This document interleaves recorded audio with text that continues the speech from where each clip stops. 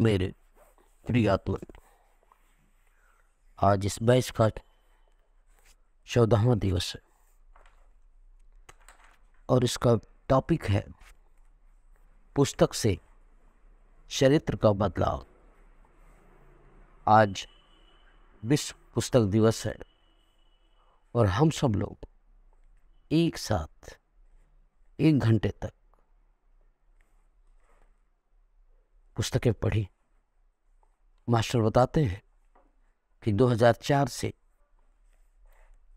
वे पुस्तकों का पढ़ना शुरू किए और कहते हैं कि उनका ज्ञान भंडार सभी आयामों में बढ़ने लगा।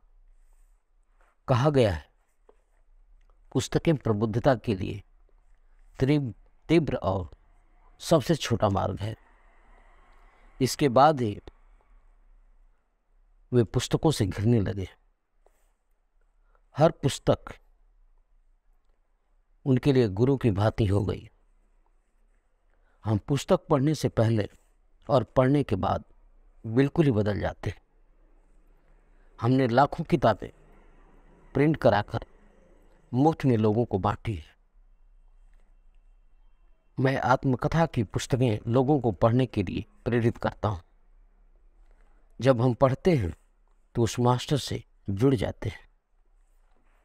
जीवन के हर क्षेत्र में एक गुरु मिलते हैं। हमें लगातार सीखते रहना है। मैंने इस एक पुस्तक को 45 मिनट में ही समाप्त कर ली है।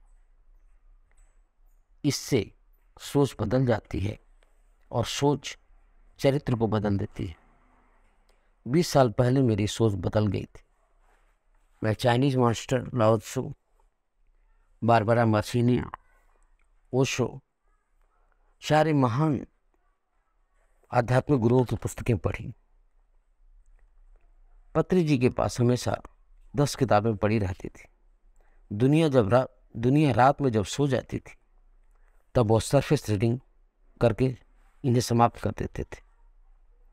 आप किसी से नफरत कर सकते हैं, प्रतिशोध की भावना रख सकते हैं। अपने मस्तिष्क को उन भावनाओं में उलझा सकते हैं। बहुत आसान है, इसे कर सकते हैं, क्योंकि इसके लिए आप पहले ही शिक्षित हो चुके हैं।